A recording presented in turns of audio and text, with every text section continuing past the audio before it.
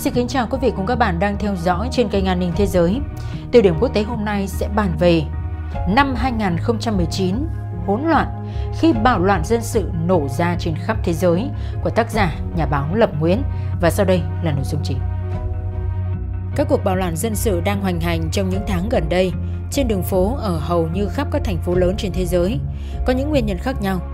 Tuy nhiên, nhiên liệu để cung cấp cho các cuộc bạo loạn này lại là một thứ rất quen thuộc – đó là niềm tin cho rằng hành động này có thể giúp thay đổi hiện trạng. Cho dù cái được chọn để thay thế không phải lúc nào cũng thuyết phục và hiệu quả như mong đợi. Cứ thêm một ngày, lại thêm một cuộc bạo loạn nổ ra trên toàn cầu. Vào hôm thứ Hai ngày 23 tháng 10 năm 2019, các cuộc biểu tình phản đối diễn ra ở Bolivia khi những người dân trong tâm trạng giận dữ, xung đột với cảnh sát sau khi phe đối lập chính trị nói rằng họ đã bị gian lận trong một cuộc bầu cử mà Tổng thống Evo Morales là người giành chiến thắng. Còn trước đó một tuần, các đường phố của thủ đô Santiago của Chile rơi vào cảnh hỗn loạn khi những người biểu tình tức giận với việc phí giao thông công cộng tăng vọt đã xông vào cướp phá các cửa hàng, đốt cháy một xe buýt và buộc Tổng thống nước này phải tuyên bố áp đặt tình trạng khẩn cấp. Trước đó cũng trong tháng 10, Tổng thống Ecuador Lenin Moreno cũng phải làm công việc tương tự sau tình trạng hỗn loạn nổ ra, bắt nguồn từ quyết định chấm dứt việc trợ cấp nhiên liệu là cái vốn đã được áp dụng trong nhiều thập kỷ qua quốc gia này. Và bạo loạn không chỉ diễn ra ở Nam Mỹ. Hồng Kông đã trong tình trạng hỗn loạn từ nhiều tháng liền cho đến nay. Thủ đô Beirut của Lebanon hiện hoàn toàn tê liệt. Nhiều khu vực của thành phố Barcelona trông giống như một bãi chiến trường vào tuần trước và hàng chục nghìn người Anh tuần hành khắp thành phố London vào mỗi dịp cuối tuần xung quanh vấn đề về Brexit. Biểu tình đã bùng phát dữ dội tại Iran vào ngày 15 tháng 11 sau khi chính phủ nước này thông báo có chính sách mới đối với mặt hàng xăng dầu. Theo đó thì nước này sẽ áp dụng việc phân phối và tăng giá từ 50% trở lên đối với xăng dầu bơm từ các trạm xăng, nhằm bỏ việc trợ giá vốn rất tốn kém và là nguyên nhân làm gia tăng lượng tiêu thụ cũng như nạn buôn lậu xăng dầu tràn lan. Theo thống kê chính thức, đã 5 người thiệt mạng trong các cuộc biểu tình bạo lực khi những người biểu tình quá khích phóng hỏa các trạm xăng, ngân hàng và nhiều địa điểm công cộng khác. Các cuộc biểu tình đã nổ ra vào ngày 28 tháng 11 tại thị trấn Hóa Châu, tỉnh Quảng Đông, Trung Quốc, với việc hàng nghìn người dân địa phương diễu hành trước các trụ sở văn phòng của thị trấn để phản đối kế hoạch xây dựng một nhà hỏa táng trên khu đất mà họ tin rằng được dành cho một công viên. Cảnh sát đã tiến hành can thiệp, bắn liều đạn hơi cay và dùng dùi cui để giải tán đám đông. Theo các nhân chứng, đã có hàng chục người bị thương và nhiều người khác bị bắt. Các cuộc biểu tình phản đối đã nổ ra trên khắp thế giới trong những tháng qua. Mỗi cuộc biểu tình có nguyên nhân riêng của nó. Tuy nhiên, nhiều trong những cuộc biểu tình bạo lực này có những điểm tương đồng. Theo Sergei Gorev, kiểu kinh tế trưởng của Ngân hàng Tái thiết và Phát triển châu Âu, thì nhìn chung, toàn cầu hóa và những tiến bộ của công nghệ, đặc biệt là truyền thông số đã làm trầm trọng hơn nữa tình trạng bất bình đẳng trong nội bộ từng quốc gia. Và không phải tất cả các hành động phản kháng hiện nay đều bị thúc đẩy bởi những nguyên nhân kinh tế. Bạo động lan ra khắp thế giới. Trong năm 2019, trên khắp hành tinh, hầu như rất hiếm khu vực nào tránh được các cuộc biểu tình lớn.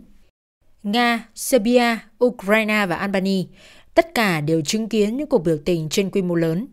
Nước Anh cũng vậy, với các cuộc biểu tình chống Brexit, nước Pháp với phong trào áo vàng và Tây Ban Nha với khu vực Catalonia, không lúc nào yên tĩnh.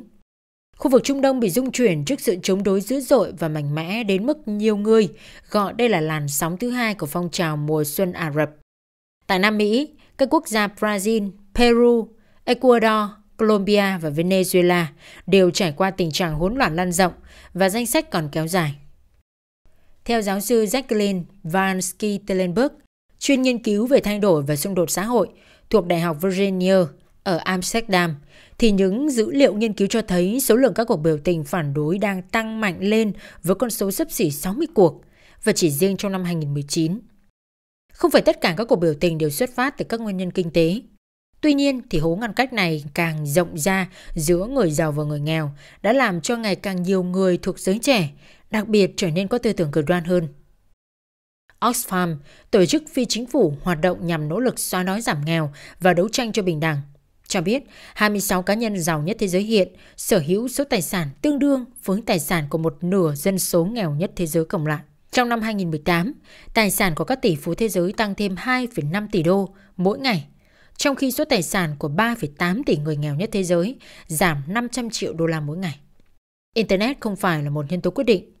Trong những năm 1960 của thế kỷ trước, không hề có mạng truyền thông xã hội. Tuy nhiên, nó rõ ràng đóng một vai trò hết sức quan trọng.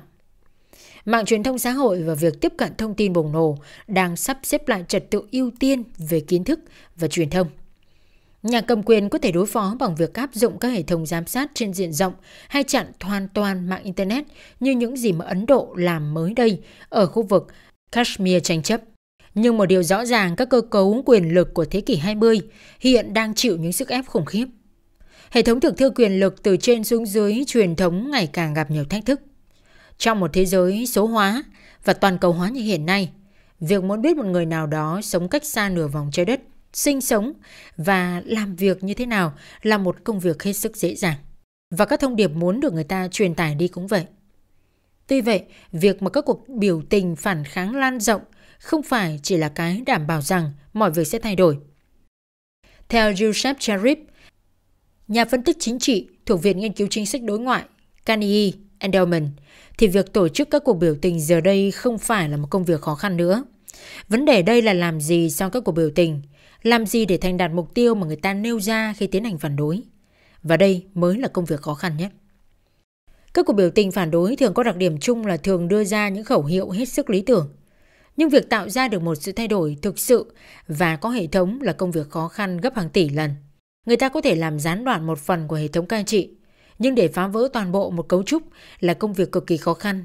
Do cấu trúc đó được hình thành lên bao gồm nhiều thể chế và mảng lưới rất khó, có thể làm chúng tan rã trong ngày 1, ngày 2. Và việc nhiều cuộc bạo động thực sự không có người lãnh đạo làm cho nhà cầm quyền gặp khó khăn trong việc xử lý. Và điều này cũng làm cho các phong trào phản kháng khó có thể duy trì về lâu dài. Kinh tế, một trong những nguyên nhân chính dẫn đến bạo động. Có thể nhận thấy tại một số quốc gia bị tác động bởi các cuộc phản đối bạo động dữ dội nhất trong thời gian gần đây.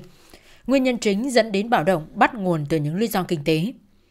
Các chính phủ Chile và Ecuador đã làm dân chúng của họ nổi cơn thịnh nộ sau khi tăng giá vé tàu xe và chấm dứt việc trợ cấp nhiên liệu. Khi các cuộc xung đột nhấn chìm thủ đô Quito của Ecuador, Tổng thống nước này là Lenin Moreno đã tìm cách liên lạc với các thủ lĩnh bản xứ, là những người đã huy động dân chúng xuống đường phản đối. Chỉ trong vòng vài phút, người tổ chức các cuộc biểu tình là Jamie Vargas đã ngay lập tức lên tiếng bác bỏ việc tiếp xúc này. Chúng tôi bảo vệ người của mình, Vargas nói trong đoạn clip được truyền trực tiếp trên Facebook từ cuộc diễu hành đang diễn ra Quito. Câu trả lời của ông này được hàng triệu người dân chứng kiến, làm nổi bật thêm một cách thức mà chính quyền đang gặp phải khi tìm cách dẹp bỏ tình trạng bất đồng. Các phương tiện truyền thông xã hội đã làm cho việc liên lạc giữa những người biểu tình trở nên dễ dàng hơn bao giờ hết. Hàng chục nghìn người đã tràn ngập ở đường phố Beirut trong một hành động biểu dương sức mạnh và bày tỏ thái độ phản kháng lớn nhất chống lại chính quyền nước này trong nhiều thập kỷ qua. Dân chúng thuộc đủ mọi lứa tuổi và tôn giáo đã cùng nhau xuống đường phản đối tình hình kinh tế đang xấu đi, cũng như những nạn tham nhũng lan tràn trong bộ máy cầm quyền. Những nguyên nhân tương tự cũng được cho là nằm đằng sau các cuộc bạo loạn dân sự chết người diễn ra Iraq vào đầu tháng 10 vừa qua. Có tin hơn 100 người đã thiệt mạng trong các cuộc phản đối bạo lực diễn ra trong khắp cả nước khi nhiều người Iraq, đặc biệt là thanh niên, cảm thấy họ hầu như không nhận được bất kỳ lợi kinh tế nào kể từ khi các lực lượng nhà nước Hồi giáo IS bị đánh bại hoàn toàn tại nước này năm 2017. Lực lượng an ninh đã tiến hành đàn áp với các tay súng bắn tỉa được triển khai trên các nóc nhà đã bắn vào dân chúng và mạng Internet đã bị khóa nhằm ngăn chặn việc trao đổi thông tin và liên lạc giữa những người biểu tình. Đòi quyền tự trị, một lý do khác cho cuộc bạo động. Hồng Kông đã bị tơi tả sau nhiều tháng nổ ra các cuộc biểu tình thường xuyên mang tính bạo lực xuất phát từ những lo ngại là Bắc Kinh đang thắt chặt sự kiểm soát đối với lãnh thổ này được coi là cuộc khủng hoảng chính trị tồi tệ nhất kể từ khi thuộc địa này được Anh trao trả lại cho Trung Quốc vào năm 1997. Mặc dù các cuộc biểu tình trên quy mô lớn đã giảm bớt trong những tuần gần đây, tuy nhiên mức độ bạo lực lại gia tăng mức độ tại các cuộc biểu tình. Với việc những người tham gia biểu tình quá khích thường xuyên phóng hỏa các trạm metro và đập phá các cửa hàng, thường là nhắm vào các ngân hàng và cửa hàng có liên hệ làm ăn với Trung Hoa lục địa. Cảnh sát đối phó bằng việc bắn hàng ngàn viên đạn hơi cay và đạn cao su vào đám đông, còn những người biểu tình đáp trả bằng gạch đá và bom xăng tự chế tạo. Những gì đang diễn ra Hồng Kông có thể so sánh với khu vực tự trị Catalonia của Tây Ban Nha trong những ngày gần đây.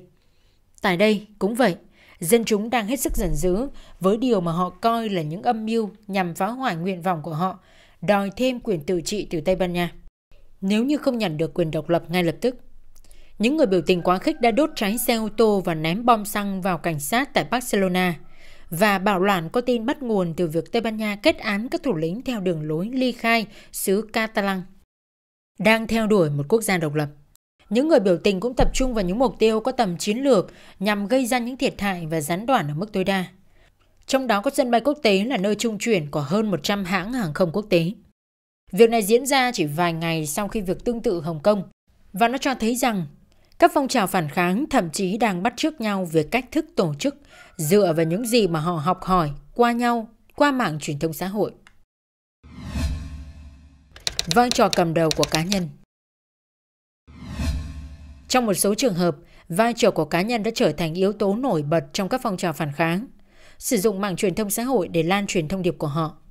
Tại Ai Cập, nơi các cuộc biểu tình diễn ra trong tháng trước với quy mô tương đối nhỏ, Chất xúc tác dẫn đến tâm trạng bất bình đối với Tổng thống Abdel Fattah al-Sisi của nước này được cho là bắt nguồn từ những hình ảnh về các cuộc biểu tình ở Tây Ban Nha do một người Ai Cập post lên mạng Internet. Còn Greta Thunberg, nhà hoạt động Thụy Điển, tuổi vị thành niên, đã truyền cảm hứng cho hàng triệu người xuống đường diễu hành ở các thành phố trên khắp thế giới trong tháng 9 nhằm yêu cầu các nhà lãnh đạo thế giới hành động để ngăn chặn biến đổi khí hậu và có đến hàng chục nghìn người tập trung tại một công viên ở New York để nghe cô bé phát biểu. Biểu tình bạo động đang tác động tiêu cực đến các thị trường tài chính toàn cầu. Ở châu Âu, châu Á, châu Phi, Trung Đông và Nam Mỹ, các cuộc biểu tình trên đường phố đang làm cho các nhà đầu tư hoảng sợ. Tốc độ lây lan nhanh chóng của các cuộc biểu tình và bạo loạn dân sự trên khắp thế giới trong thời gian gần đây đang gây chú ý cho các thị trường tài chính toàn cầu tới việc nhà đầu tư ngày càng lo ngại rằng sức ép từ những hành động phản kháng này sẽ dẫn đến hậu quả là chúng sẽ có những tác động tiêu cực đến ngân sách vốn đã quá eo hẹp của nhiều chính phủ. Các nhà quản lý tiền tệ cũng như những chuyên gia phân tích rủi ro đang làm công việc tìm kiếm sợi chỉ xuyên suốt giữa những nguồn cơn gây ra tâm trạng tức giận lan rộng, thường là không liên quan gì đến nhau này. Từ Hồng Kông đến Beirut qua Cairo tới Santiago – đều thừa nhận rằng tình trạng hỗn loạn trong năm 2019 là đặc biệt đáng lo ngại, tiếp sau một thời kỳ tăng trưởng kinh tế khiêm tốn và thất nghiệp tương đối thấp vừa qua. Nhiều chuyên gia thậm chí còn lo ngại rằng nếu thế giới trượt dài, trở lại vào suy thoái sau hơn một thập kỷ tương đối yên ổn, thì những nguyên nhân gốc rễ của các cuộc bạo loạn trên đường phố sẽ chỉ làm cho tình hình trở nên trầm trọng hơn và buộc các chính phủ đang gặp phải rắc rối phải giảm bớt các chính sách kiểm soát tiền tệ để tài trợ cho công an việc làm, giáo dục, y tế và các dịch vụ khác nhằm xoa dịu những người biểu tình.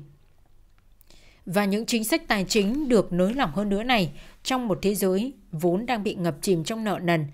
và đang hướng tới một quá trình đình trệ về kinh tế có thể gây hoảng loạn cho các chủ nợ và các cổ đông, đặc biệt là những người đang nắm những khoản nợ của chính phủ như vật đảm bảo để đề phòng suy thoái và coi đó là nơi ẩn náu khỏi tình trạng bất chắc.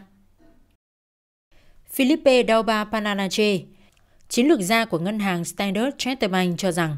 bản thân các cuộc biểu tình là cái mà các nhà đầu tư không thể đoán trước được và nó phù hợp với mô hình nguy cơ chính trị đang nổi lên, đang tác động đến những nhận thức về thị trường ở tất cả các khu vực trên thế giới.